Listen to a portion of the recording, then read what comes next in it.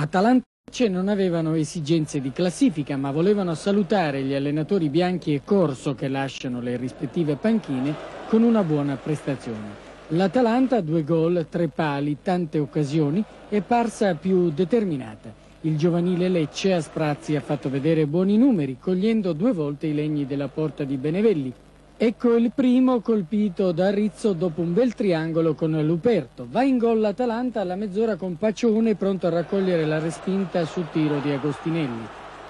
Paccione manca il bis un minuto dopo cogliendo il palo sul passaggio di Mutti imbeccato da Magrini. L'Atalanta preme costantemente e all'inizio della ripresa è Magno Cavallo a impegnare De Luca con un colpo di testa.